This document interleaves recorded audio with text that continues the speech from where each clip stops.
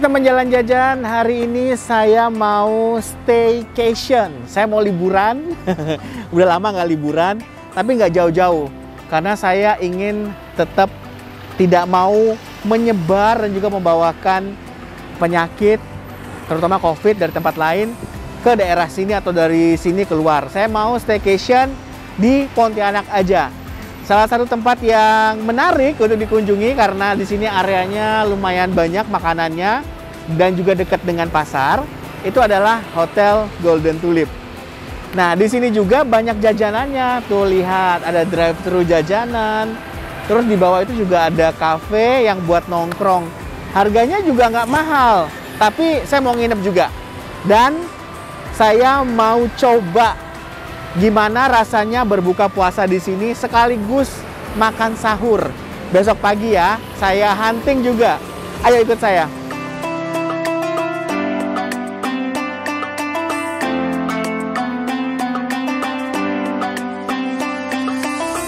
Iya Pak. Gimana Pak ya? Oke.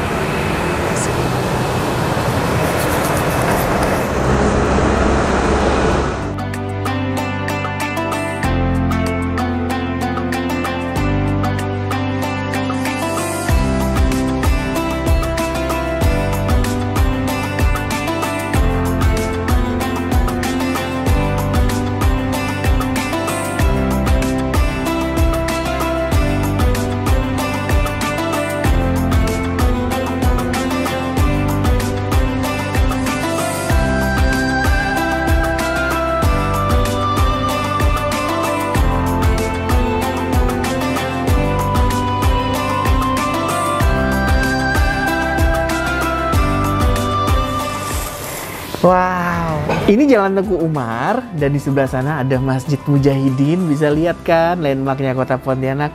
Dan ternyata di sini sorenya bagus juga loh. Aku bisa lihat matahari terbenam. Tuh, bagus ya.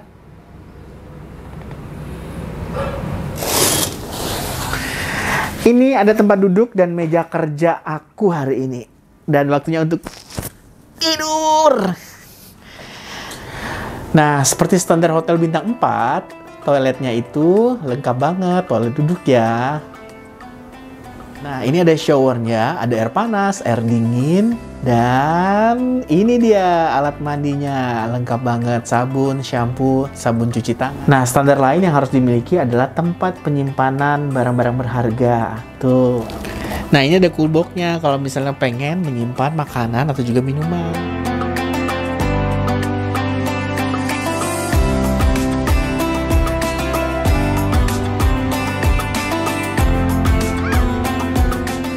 Sekarang lagi ada di lantai C-nya Hotel Golden Tulip. Di sini ada Copacabana Pool and Lounge dan di sini juga ada tempat terbuka untuk kolam renang dan juga bisa melihat kawasan Tengku Umar lebih dekat.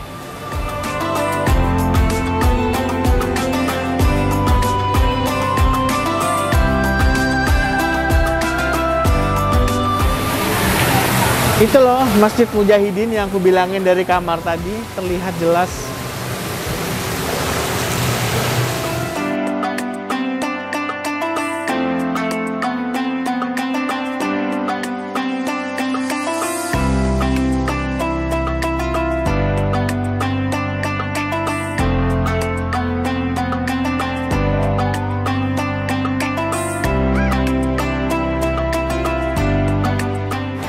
Aku udah ada di stall main course hari ini di Golden Tulip. Kebetulan aku menemukan nasi lengkap dengan lauk pauknya ada sambal ati ampela.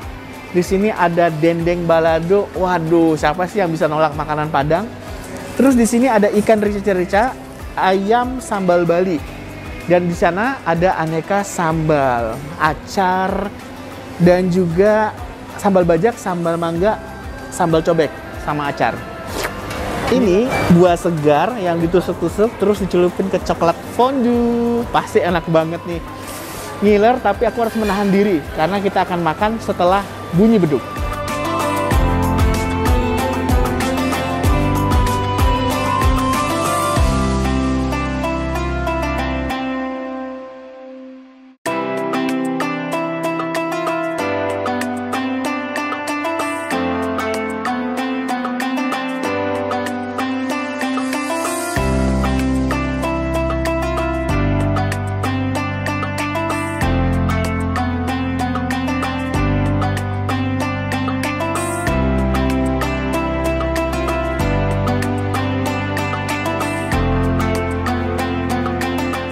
Ya, ketupatnya raksasa sekali ya. Belum lebaran tapi udah ada ketupat, tapi nggak bisa dimakan.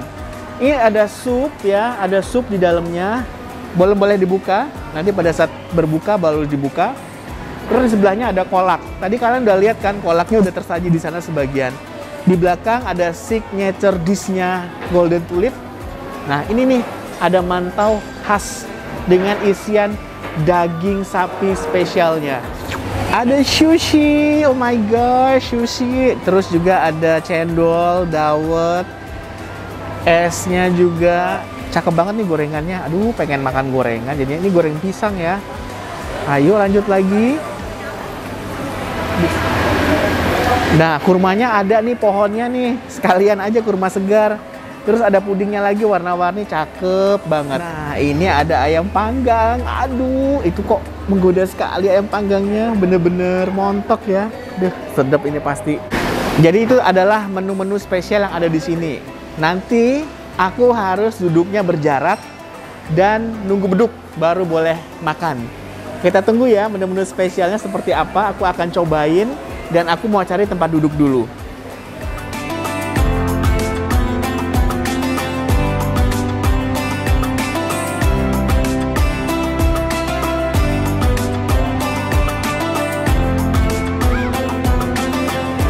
Hai teman jalan jajan, selamat pagi.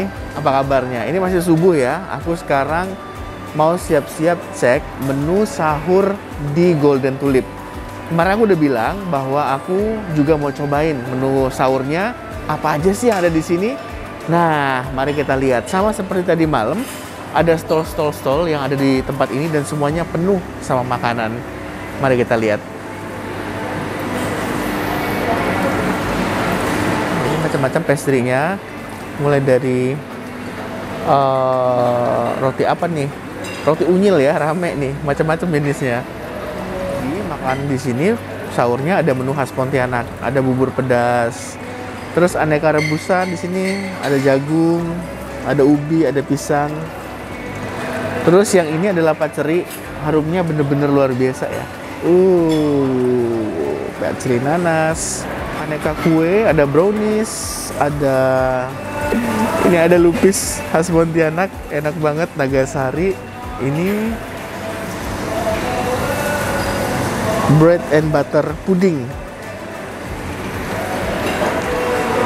Jadi sahur di Golden Tulip ini hitungannya lengkap banget. Jadi semua menu ada, mau menu western, menu Indonesia, menu lokal, itu lengkap banget. Tadi udah lihat ya, ada soto, terus ada juga nasi kuning. Oh, itu enak banget. Dan tetap ada ciri khas mereka, mantau. Dan tadi saya lihat di pojokan sebelah sana itu ada lengkap sekali dimsum. Lalu di stall lain tadi saya lihat ada nasi lengkap, ada nasi goreng, ada kue tiaw goreng, terus menu-menu lain. Bahkan oh, tadi saya lihat kayaknya ada tongseng kambing. Wah, pagi-pagi ya. terus tetap ada egg station. Kalau kalian mau pesan telur dadar, mata sapi, telur rebus semuanya ada dan buat kalian yang pengen cobain berbuka sekaligus sahur sekaligus nginep itu bisa banget jadi kalau mau cobain di Golden Tulip wah pasti seru banget oke saya mau cek lagi menu yang lainnya nanti ada menu kalau breakfastnya seperti apa kita cek nanti ya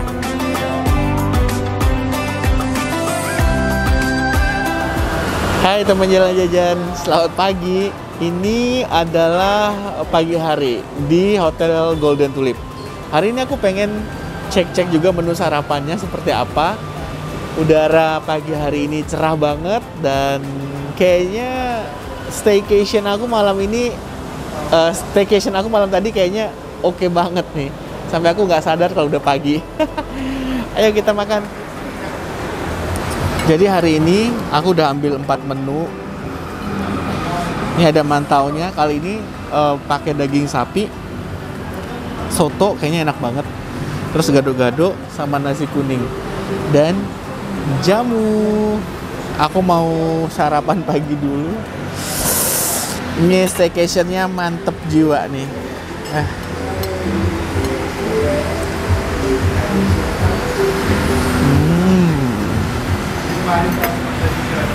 Ini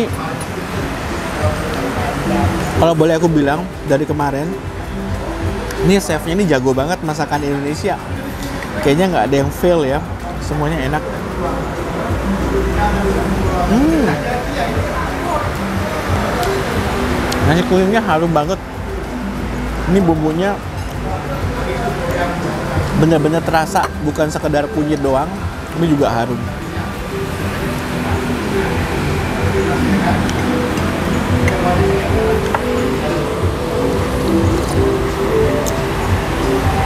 Hmm, ini enak juga. Aku lanjutin makan dulu ya.